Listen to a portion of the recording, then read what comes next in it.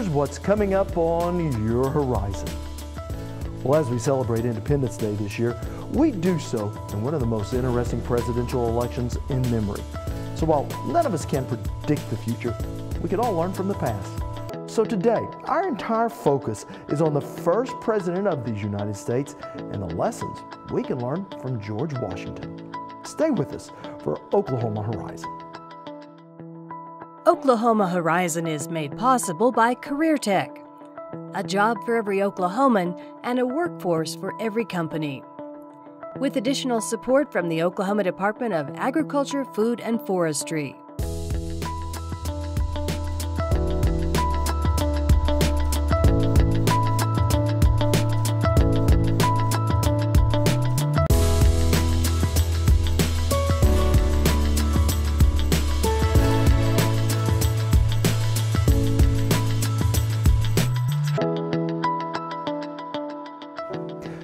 Everyone. Thanks for joining us here on Horizon. I'm Rob McClendon.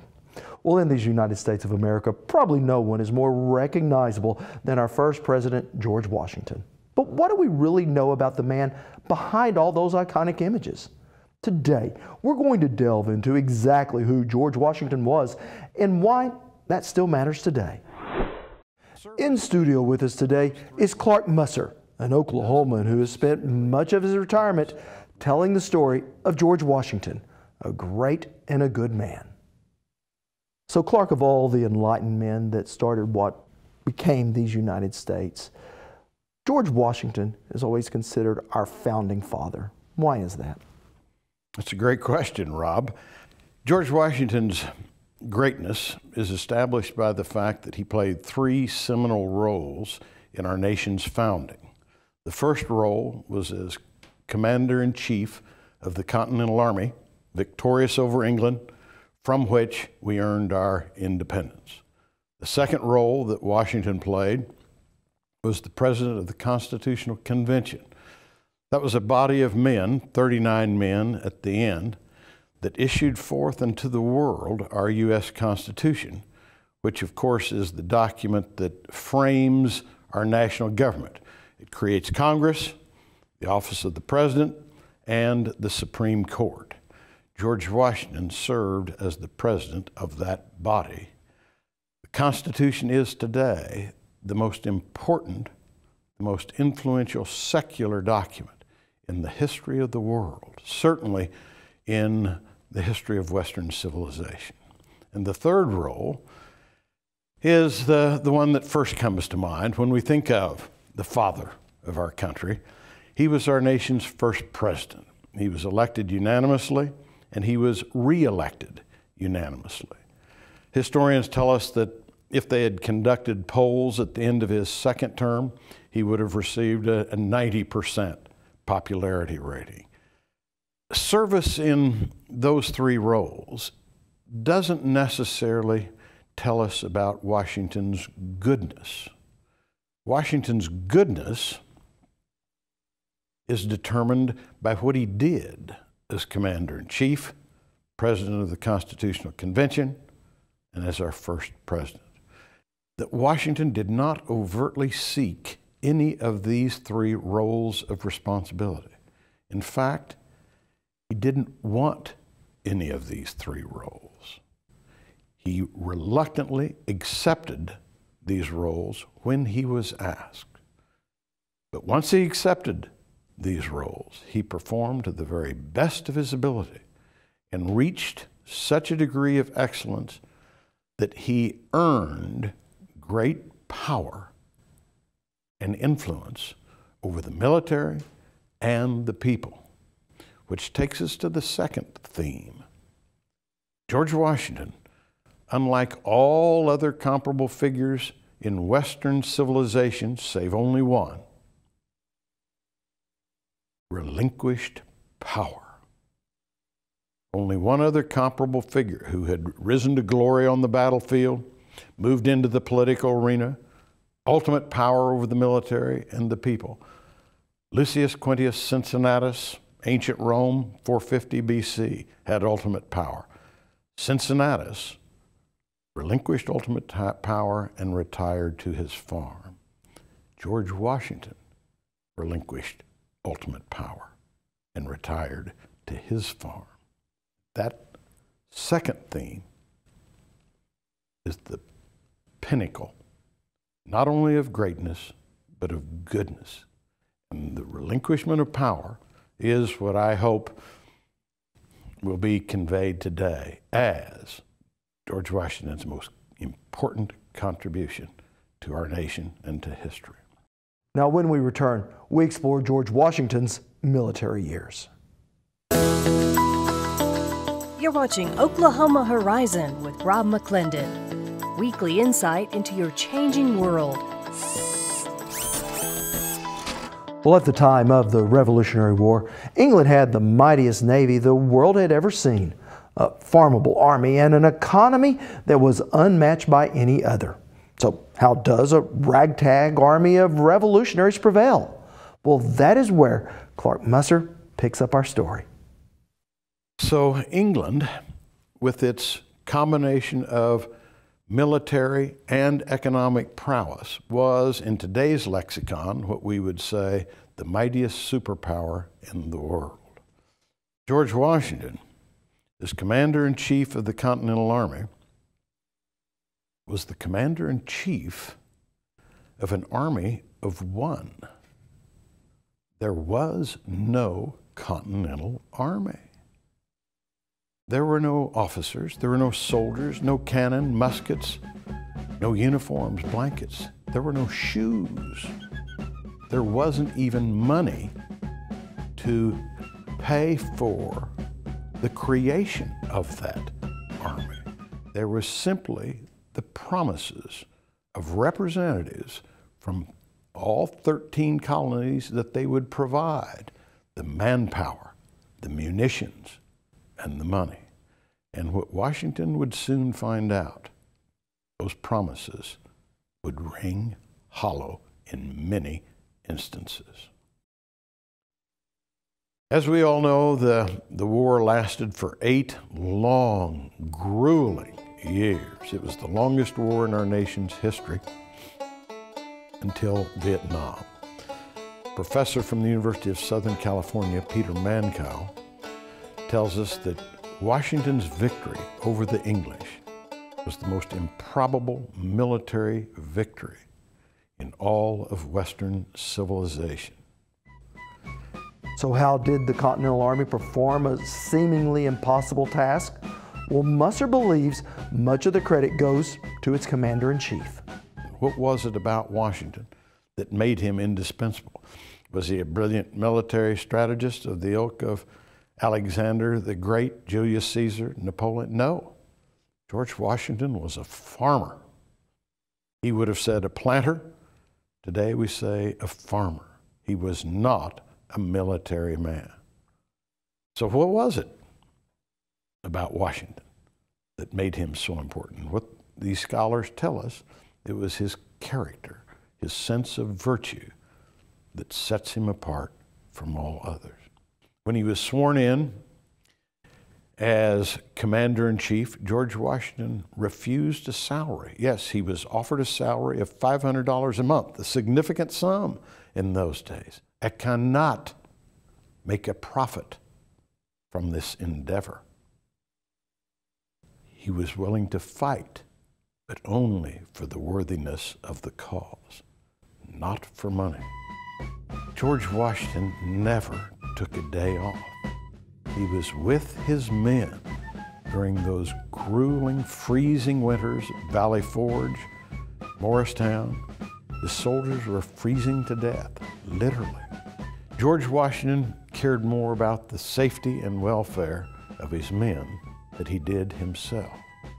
When in battle, when retreating from the English, as was often the case, Washington was in the rear, the most vulnerable of positions, making sure that his men were moving towards safety.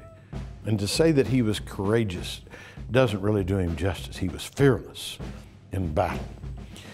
The British redcoats were on one side and Washington's Continental Army on the other. They were a mere 100 feet apart, maybe the distance of our front yard, firing at each other with muskets. and the British were about to take the day. Washington is off the side, off to the side, astride his horse, watching the battle. And as his men began to retreat, he rides in on his horse. Thomas Jefferson tells us that George Washington was the greatest horseman of the age. He rides in between the competing forces. His only protection is the smoke from the musket fire. Hold your ground, my boys, hold your ground. There is but a handful of them. We can prevail. His men see His Excellency in this state of peril. They halt, they turn, retrench, re engage, and indeed they take the day. And we know about this in part because of a, a letter that one of Washington's fellow officers wrote who bore witness to this scene in which he tells his wife, My dearly beloved, yesterday I witnessed such courage as I could never have imagined. His Excellency rode into the fire, a thousand deaths flying all around him, his life hanging by a single hair. I assure you, my dear, I feared not for myself, but only for this bravest of all men. And in due time, the people of the United States began hearing and then understanding. And then they came to realize that Washington was one of the richest men in the colonies in the States. But this man was willing to risk every material thing that he held dear his Mount Vernon, even his beloved Martha, and of course his own life in the furtherance of a principle liberty, freedom. Richest man in the colony risked everything for this cause. A cause that is soon to turn to the birth of a new nation. Horizon is at your fingertips. Join us on Facebook, Twitter, and YouTube to catch the segments you may have missed and our latest new content as it happens. Toward the end of the war, when it was evident that George Washington and the Continental Army would prevail, representatives of his officer corps approached Washington to assure him of their support when he became king, something Washington would have none of. Every nation in the world at that time was ruled by a king, a queen, a chieftain. So it was only natural that Washington be king. To which Washington replied, Nothing that has come to my attention throughout the course of this war disturbs me so much as your suggestion that I would accept such a position. What is it about my conduct that makes you think I would be receptive? And he dismissed these men. Never are you to speak of this again. The point is, Washington would not be king. Washington, at the end of the war, surrendered his commission to the Continental Congress. He, in ceremonial fashion, presented his sword to Congress as an indication of resigning his commission, and I like to think of that ceremonial pre presentation as, as almost literally turning his sword into a plowshare. Thomas Fleming, a historian, tells us that Washington's relinquishment of ultimate power is the greatest event in our nation's history. And if it is, that could certainly be the greatest secular event in all of world history. So far, the next five years, Washington retired to his beloved Mount Vernon but all in the fledgling country was not well. The war had taken a devastating toll on the population base. The economy was in shambles, and as a result, we were disuniting. The population toll. The war had cost us the lives of 25,000 boys, and I use the word boys intentionally, most ages 15 to 30 died at the very peak of their productive lives, their reproductive lives. In today's population, that would be the equivalent of between three and four million boys no longer with us. The economy had shattered. No trade of consequence had taken place during the Eight Year War. England had been our primary trading partner, so no trade with England. Professor Allen Guelzo at Gettysburg College tells us that inflation roared in some areas 5,000%. The Continental, that was the, their currency, was worthless. We had incurred a national debt of roughly 70 to 80 million dollars. Who knows what that would be in today's currency? And George Washington's services were needed once again with the convening of a constitutional convention to set up these United States. Tempers flared, fisticuffs, arguments ensued. But all those delegates knew that the man sitting up there on the dais deemed it to be in their best interest and the best interest of the people of the 13 states that we create a central government. So, in due time, under the watchful eyes and the guiding hands of the one man on earth who could be trusted with power, the delegates' arguments turned to debate, the debate turned to compromise. And in a mere four months, 39 men at that convention signed off on a draft of the document that provides the framework for our central government. Bear in mind, there was nothing like it in world history the creation of a document whereby the people determined who their leadership would be. Not by heredity, not by birth, but we, the people, determined who the leaders are and how that would function. Nothing like it. But the people knew that George Washington had overseen the process, that he approved the process, and that he thought this central government was in their best interest. So in June of 1788, a mere nine months from the time it went out to the people, the requisite nine states had approved it. And that U.S. Constitution created a central government. That U.S. Constitution would be the supreme law of the land, superior to the law of Georgia, of Virginia, Pennsylvania. The people had to subordinate their state's laws to this law that, nation, that George Washington believed to be in their best interest. And with that, the United States of America was born. When we return, Mr. President. Want to see more stories like this? All our segments are streaming on our YouTube channel at Oklahoma Horizon TV. Well, there was probably only one man who did not know who the first president of the United States would be, and that would be George Washington himself. Washington did not want to be president, did not campaign to be president, yet was elected unanimously. And that is where Clark Musser picks up our story. There'd never been a president in history. What does the president do? The Constitution really doesn't spell out much in the way of detail as to what a president does.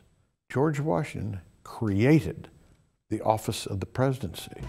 Washington's focus was threefold cultivate respectability with nations abroad, stabilize the economy, and focus on expansion to the West. He believed that the future of the United States was not east across the Atlantic, but to the West. And in his first term, George Washington negotiated treaties with foreign countries, settled disputes amongst the states, settled disputes amongst the states and countries in Europe. He established a national bank, single currency, the dollar, put together a plan for the repayment of that 70, 80 million dollar debt and actually implemented the prepayment of that. Now, I'm not saying that he did it all by himself, of course, but he oversaw the process. He was the key figure. As Thomas Jefferson said, all of his advisors, George Washington's advisors, were like the spokes on a wagon wheel. We, including himself, we revolved around George Washington, who was the hub.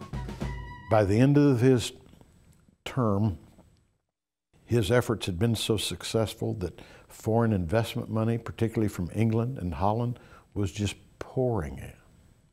Our economy had stabilized in his first term.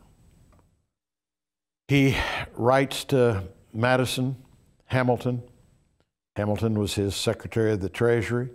Thomas Jefferson was his Secretary of State, informing them that now that the, my first term is almost over, I want to pick up my spade and earn my bread. In other words, I want to go home. I want to be a farmer again. Alexander Hamilton says the nation is not ready. Without your unifying presence, we will disunite. Thomas Jefferson says it a bit more colorfully. He says, Mr. President, the North and the South will hang together, but only if we have you to hang on to. We can almost see him bowing his head as he says, I will serve another tour of duty. His second term, all the positives of the first continued forward. There were some difficulties, there were some obstacles, but by the end of his second term, the country had stabilized its economy and there was a sense of unity that would prevail for the next 65 years against all odds, against the belief by almost everyone other than a select few that this nation could survive. 65 years into the future, that was the outbreak of the Civil War. Washington did retire at the end of his second term, returned to Mount Vernon with his beloved Martha. He had lived another two and a half years in good health, riding vigorously about his farm, inspecting all that was going on. And on December 14th, 1799, just two weeks before the new century, just two months before his 68th birthday, George Washington left us. But oh, what a legacy he left us. It, is, it was only through the strength of Washington's character and his sense of virtue that he kept this nation from descending into a monarchy or anarchy.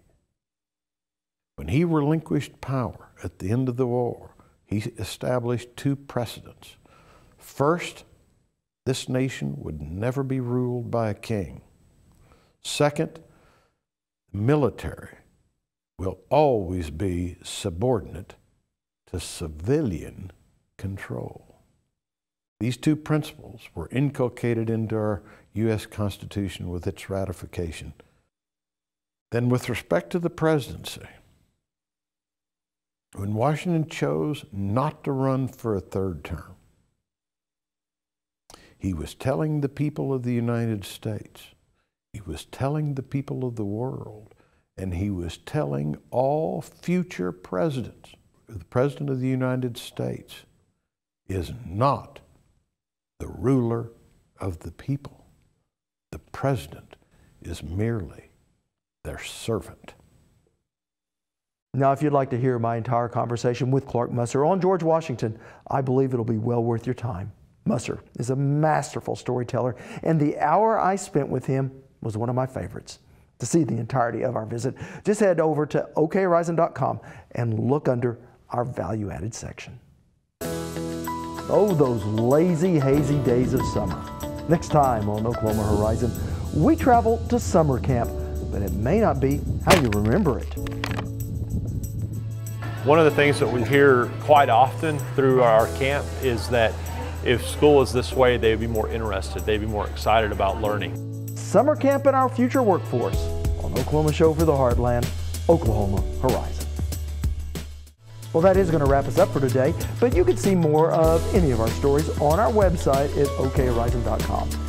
Can follow us throughout the week on Twitter at ok OKHorizonTV, or just become a Horizon fan on Facebook where we post weekly stories. I'm Rob McClendon. Thanks for including us in your day. Hope to see you back here next week. Oklahoma Horizon is made possible by the Oklahoma Department of Career and Technology Education, with additional support from the Oklahoma Department of Agriculture, Food, and Forestry.